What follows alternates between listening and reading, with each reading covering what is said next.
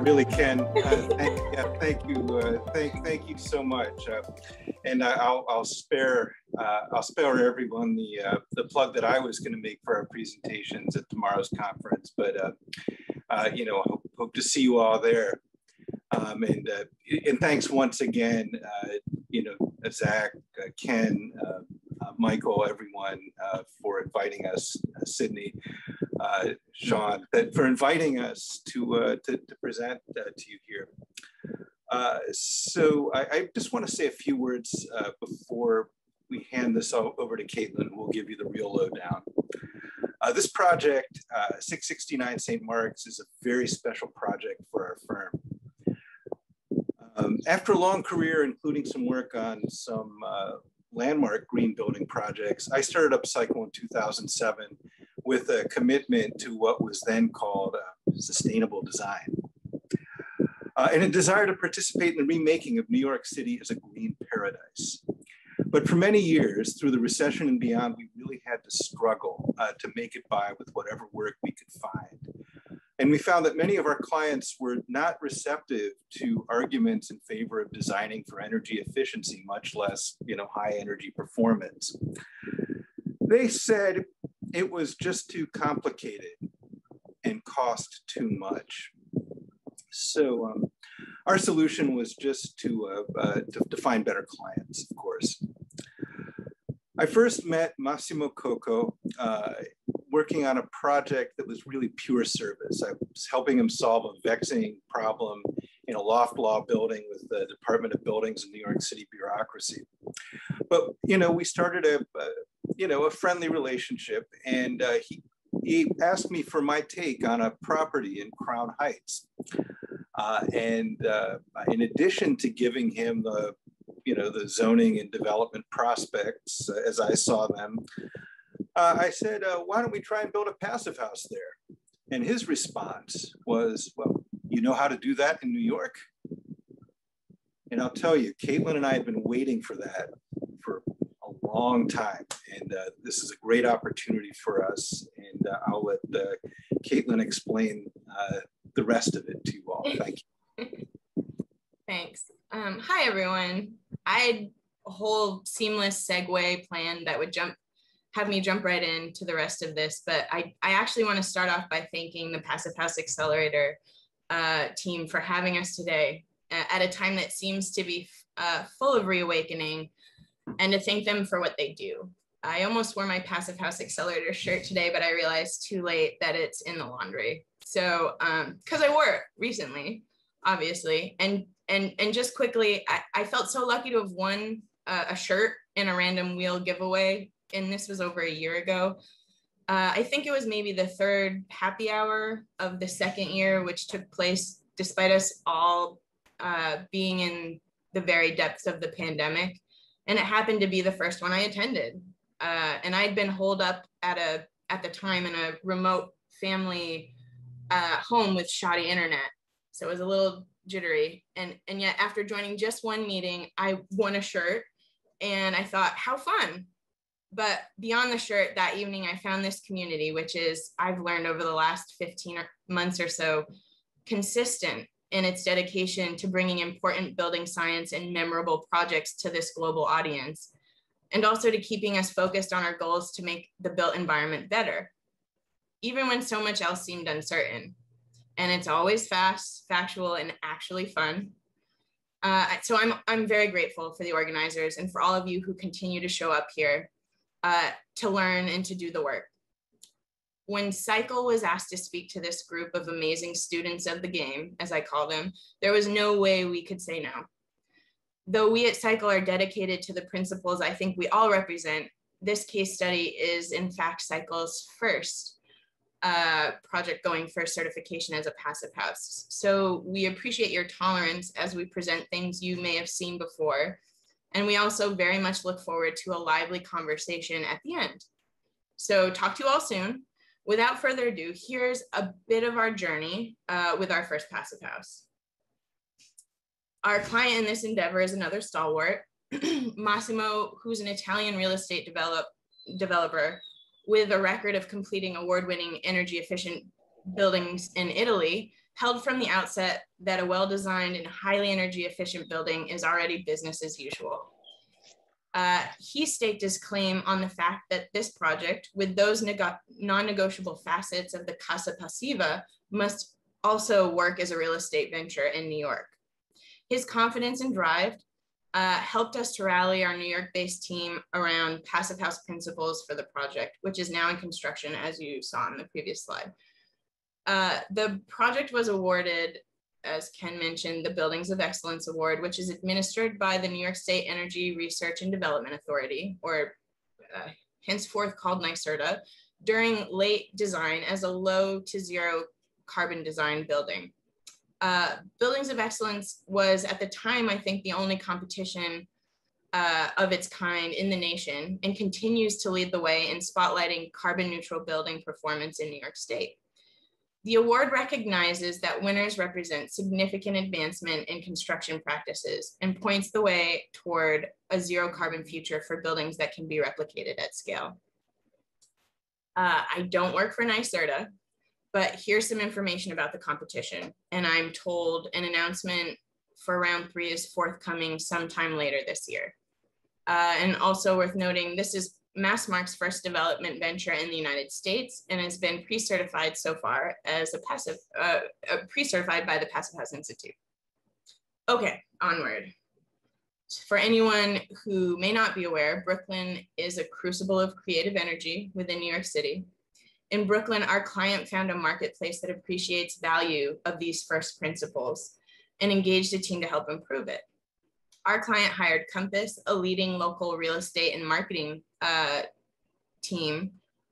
Uh, and our teams work together from schematic design to fully leverage their understanding of the market and to educate their marketing team actually about the first principles in order to illuminate how energy efficiency in buildings could serve as the foremost of four branding pillars in the overall marketing strategy. And those who aren't aware, Passive House Accelerator has made a bunch of awesome graphics that are available for free download on their website should you want them or they be helpful to you in telling someone about your work.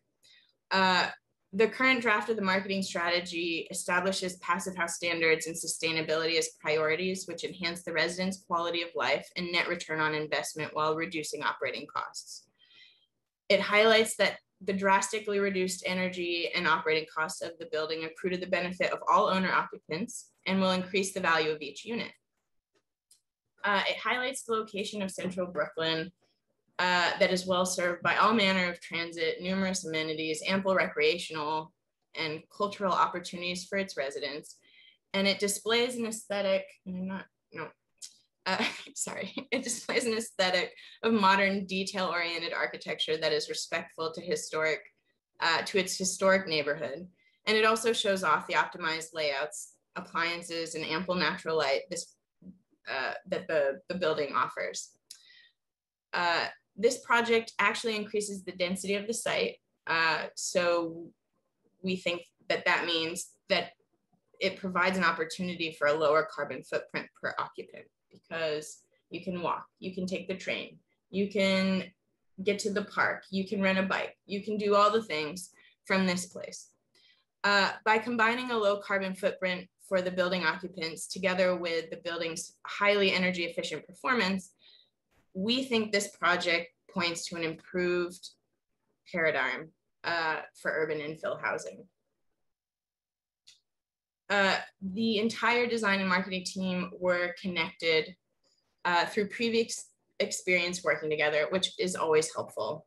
Uh, and an integrated project delivery strategy, along with the developer, architect, and MEP's engineer, uh, MEP engineers' familiarity with passive house principles, enabled us to identify and apply successful strategies for energy efficient design early in the project.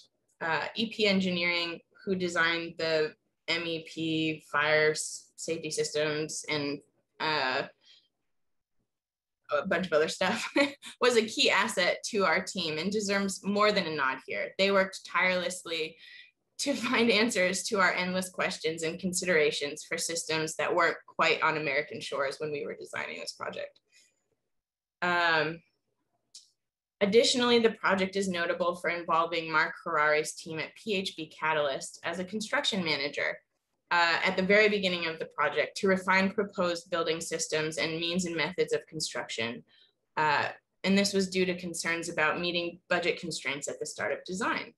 It is worth noting that from the outside, from the outset, uh, this building was planned to meet passive house standards. No comparison was ever taken uh, with less energy efficient buildings or less efficient building strategies. However, catalyst feedback throughout the design process allowed us to adjust and clarify the project scope to meet the project budget without impacting those non-negotiables.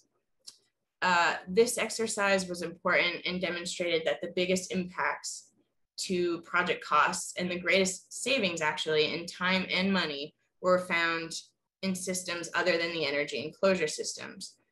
Uh, where we found those savings was in the building structural system, the foundation, uh, strategy, site connections that we could get rid of, and the plumbing systems.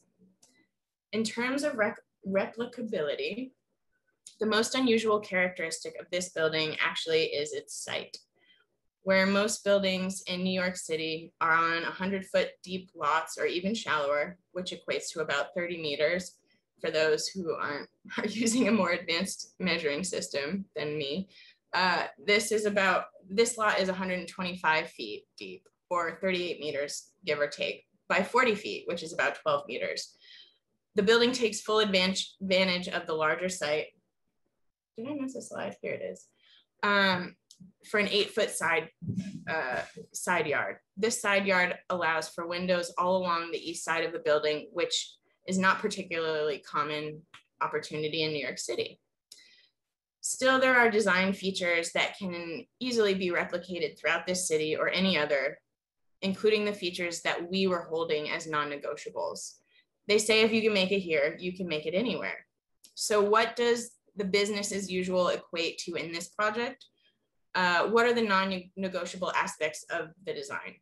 This look, this list will look familiar and includes uh, a compact building form and simplified geometry, a well-insulated building enclosure with minimized thermal bridging, uh, an airtight envelope, high efficiency heating and cooling, all electric uh, heat pump water heaters, and you can see some of the products here, high efficiency energy recovery ventilation, uh, PHI certified triple glazed windows. These were provided by Klearwall. Uh,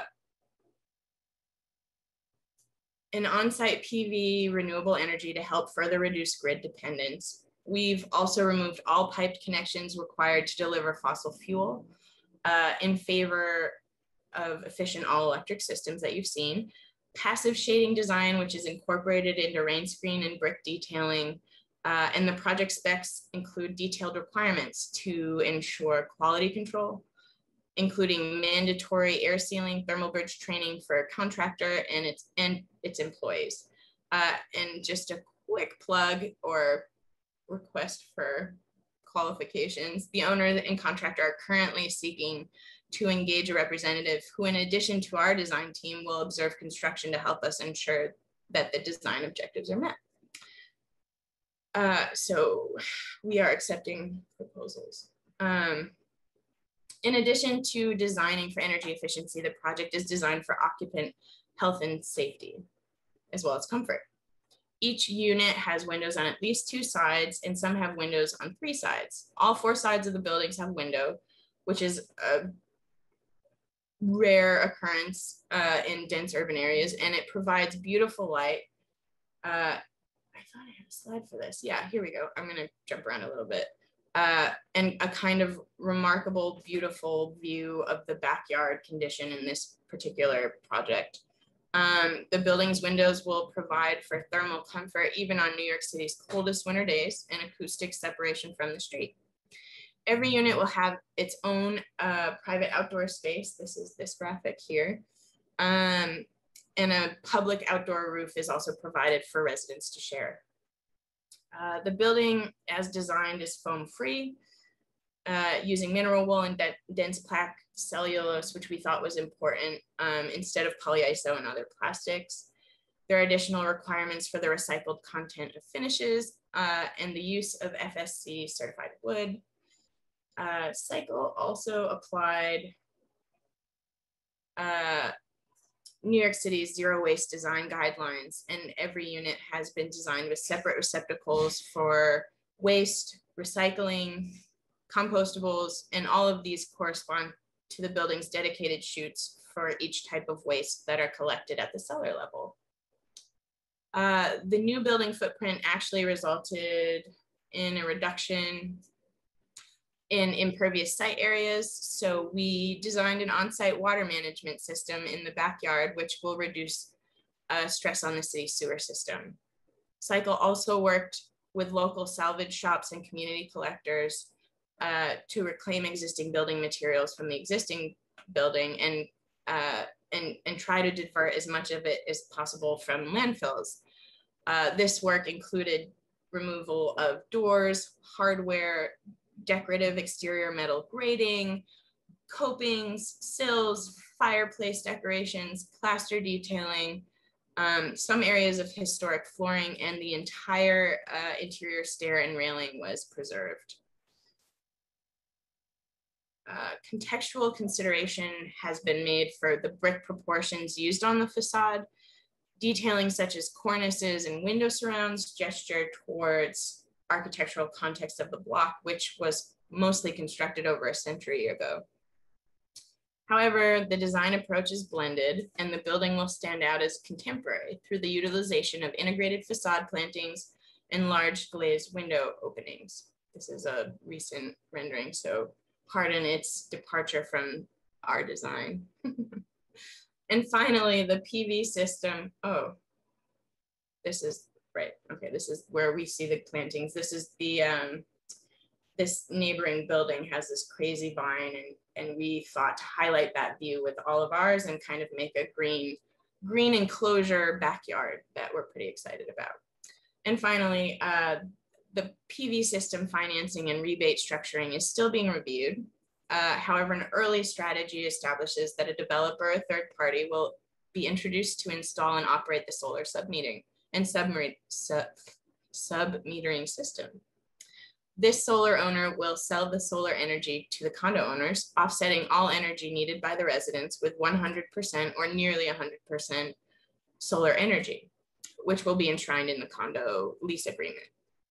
As New York State's grid becomes cleaner in order to achieve its goals for 100% renewable grid, we can estimate that all electric building will become carbon neutral from an energy standpoint anyway, by 2040. Uh, residents will be able to claim a state tax credit for the energy they purchase from the developer, and the solar owning entity can anticipate a five or so year return on investment and nearly $170,000 in revenue from the sale of energy over 25 years to the building. The benefits of a renewable power source are in a way shared by all. Uh, the community solar concept, as we're calling it, uh, for this installation is also replicable to the extent that there's a market for renewable electricity in New York State.